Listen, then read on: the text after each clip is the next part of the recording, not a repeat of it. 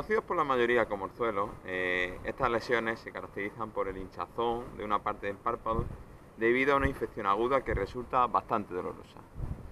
Pero ¿sabemos realmente qué son los orzuelos? ¿Por qué se producen? ¿Y por qué ciertas personas tienen cierta predisposición para sufrirlo? Y lo más importante, ¿somos capaces de poner remedio y curación?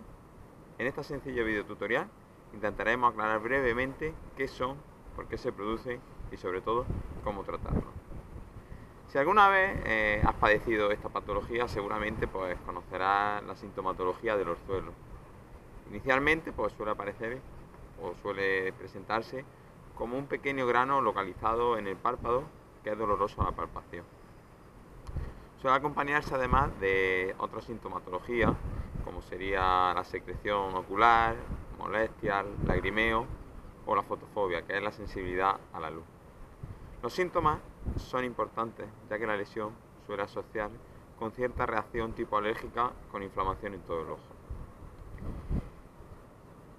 Llega al punto de intentar buscar las causas de esta patología, de la aparición de los suelos. En torno al 90% de las ocasiones eh, esta patología se debe a una infección por una bacteria, el germen del estafilococo aureo que sería el desencadenante de la clínica que se caracteriza, como hemos dicho, por la acumulación dolorosa de pus en el párpado, ya sea en forma de nódulo doloroso en el interior o en el exterior del párpado. También parece que existe cierta predisposición en ciertos grupos poblacionales o en ciertas situaciones de riesgo, ¿no? Y es que ya se ha demostrado que se dan más porcentajes de por ejemplo, entre los varones, ya que tienen una mayor carga una mayor predisposición hacia los andrógenos y la secreción grasia, también a ciertos grupos de edad, ¿no? Y ya que existen más casos entre los grupos de edad correspondidos entre los 30 y los 50 años. Los pacientes con la lesión de la piel conocida como rosácea también tienen más probabilidad de sufrir este tipo de orzuelos y también hay ciertos casos en el que la alteración en la composición de la lágrima pues puede predisponer a, la, aparición de estos orzuelos porque estas lágrimas tienen un aumento de las lipasas bacterianas que predispone a una infección con las exposiciones solares prolongadas. Por lo tanto, en personas que también se expongan de manera prolongada al sol, también se han descrito más casos de esta patología y también en personas que padecen ciertas enfermedades generales como serían aquellas que tienen el colesterol alto o aquellas personas que sufren de estado de diabetes.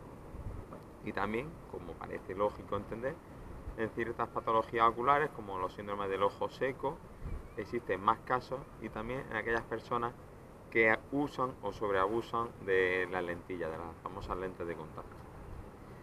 La base del tratamiento es hacer que el orificio obstruido por esta infección bacteriana se abra y drene espontáneamente, Y para ello el calor es vital. Antes de hablar de cremas, de antibióticos, de pastillas, hay que incidir que la base y la piedra angular del tratamiento es el calor. Lo ideal sería colocar una compresa húmeda, eh, lo más caliente que tolere nuestro organismo y el paciente, durante 5 o 10 minutos y esto hacerlo repetirlo durante al menos 3 o 4 veces al día. ¿no? Con esta sencilla técnica, eh, más del 50% de estas, de estas lesiones se resuelve espontáneamente. Además de las medidas térmicas, que como quiero recalcar en la piedra angular del tratamiento, existe cierta polémica con el uso de los antibióticos, ¿no? ya que hay quien defiende que su empleo puede, puede prevenir la conjuntivitis, pero otros limitan su uso eh, a los casos en los que la inflamación está más extendida más allá de los tejidos adyacentes a los suelos. Yo personalmente considero que los antibióticos tópicos son una buena opción, ya que como hemos dicho, en el 90% de los casos el orzuelo se debe a una infección bacteriana del estafilococo. Entonces, con esta pomada antibiótica conseguiríamos también incidir sobre la causa del orzuelo. En general se suelen utilizar soluciones o ungüentos oftalmológicos ¿no?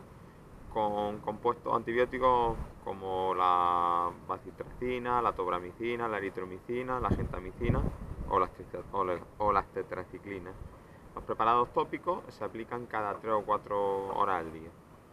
En casos más severos, con signos de de infección bacteriana generalizada o adenopatía alrededor de la oreja, podrían indicarse tratamientos de antibióticos orales con tetraciclina, pero en principio y de entrada esto se reservaría para casos severos y graves.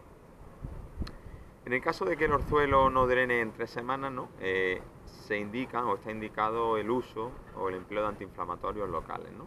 Para ello suele emplearse la inyección de corticoides directamente en la lesión, aunque esta medida se limita, como hemos dicho, a las lesiones que no drenan de manera espontánea en tres semanas y aquellas en las que no hay evidencia de infección.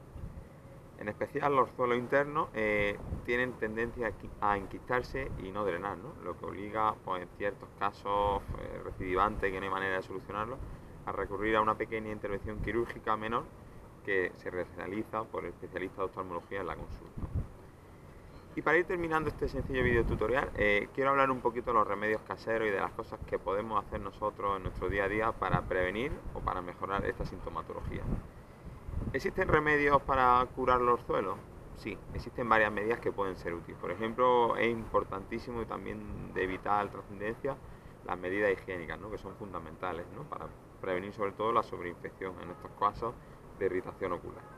Se aconseja lavarse las manos eh, antes de tocarnos los ojos y si es posible pues limpiarnos con gasas o toallas que se puedan desechar y sobre todo que no se comparta con nadie porque el riesgo de contagio es alto. También, eh, sobre todo en las mujeres, hay que evitar el uso de cosméticos y compartirlos con, otras personas estos cosméticos, ya que se puede estar mm, predisponiendo al contagio. Y también se aconseja limpiar el párpado y el área de la pestaña con champú para bebé de pH neutro.